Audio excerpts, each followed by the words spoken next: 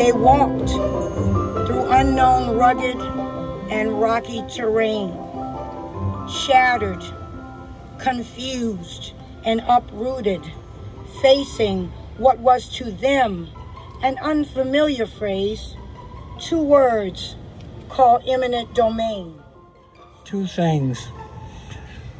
Number one, eminent domain, as done to us, was illegal eminent domain was illegal.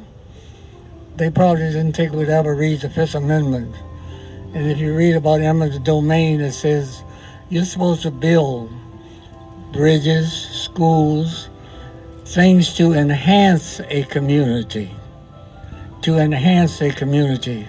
What they did was to destroy a community.